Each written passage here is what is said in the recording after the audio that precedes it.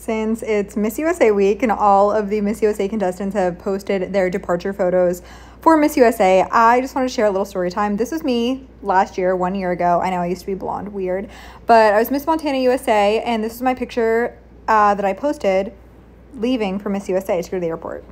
For the longest time, I thought this is what the Miss USA contestants actually went to the airport like until it was my turn to do that. I did not wear this to the airport. These photos that you see of all the Miss USA contestants going to fly out to go compete at Miss USA, th- this, they're not wearing this. This was taken a month before I left for Miss USA. This is what I actually looked like on the day I left to fly out to compete for Miss USA. I remember it was so embarrassing because one of my bags was overweight, so I had to literally unpack it in the middle of the airport. But this is why you don't fly in a mini skirt and cowgirl boots, y'all.